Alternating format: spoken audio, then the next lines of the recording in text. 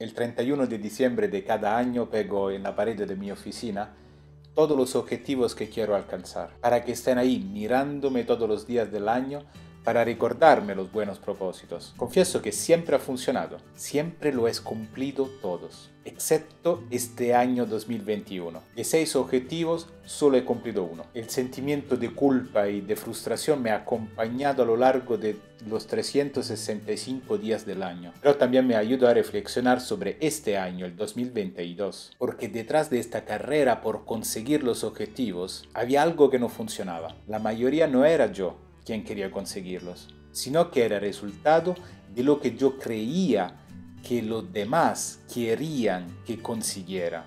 Es decir, era mi deseo de ser apreciado, aceptado, en definitiva de conseguir la aprobación social. Y esto me hace dudar sobre lo que quiero hacer para el 2022, incitándome a preguntar, son realmente míos. Recuerdo que al final de enero ya iba retrasado. A medida que pasaban las semanas el retraso se acumulaba y más frustrado estaba menos disciplinado era para conseguirlos. Incluso en los momentos de descanso, desgraciadamente muy pocos a decir verdad, no los disfrutaba plenamente porque estaba lleno de culpa. Fue un año imperfecto, indisciplinado, caótico, curioso porque me pasé los 40 años tirando constantemente el desorden, la imperfección y el caos, todo lo que se pudiera considerar mediocre. Pero en mis 41 años el caos, la imperfección, la imprevisibilidad han volvido a entrar por donde, por la ventana. Pero lo curioso es que, ¿sabes qué? Es que me gustó. Empecé a mirar estos aspectos con otros ojos. Y no son tan terribles como pensaba. Los tratamos muy mal, incluso con las palabras. Desorden, imperfección, imprevisibilidad, incompletitud. Estos prefijos son peyorativos. Definen la ausencia o la distorsión de una calidad. Estamos seguros que la poesía está solo en el bello, en el completo, en el ordenado. Este año he decidido de no ir a pegar las fotos de mis objetivos aquí en la pared de mi oficina. La misión que me alegra, que me entristece y que me da muchas otras emociones está muy clara.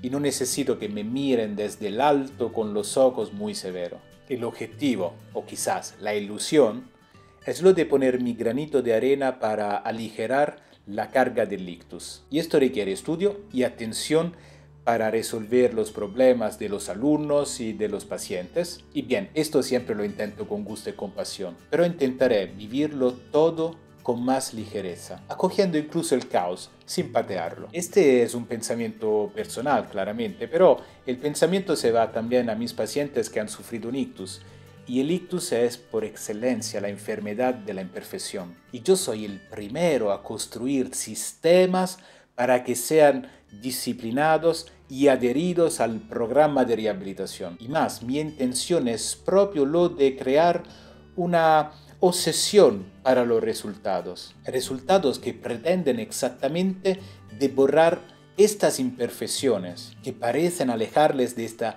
idea, entre comillas, de normalidad. Este impulso siempre ha dado resultados, pero al mismo tiempo también frustraciones. Ha traído más adherencia a la terapia, al programa de rehabilitación, pero al mismo tiempo ha también alimentado un cierto desapego a la vida. Ya el propio paciente tiende a hibernar su vida, se identifica como un guerrero en lucha contra un monstruo y está a la espera de abrazar nuevamente la vida cuando Él también haya expulsado el caos, la imperfección, el desorden y lo incompleto. Pero era inevitable un punto de ruptura, porque por más que lo despreciemos y intentamos de sacarlos de nuestra vida, son aspectos que forman parte de ella y exigen ser integrados, equilibrados, balanzados, porque el riesgo es que, de lo contrario, tarde o temprano pasarán una factura muy pesada. En conclusión, este es mi deseo para el 2022. Quizás un poco menos ligero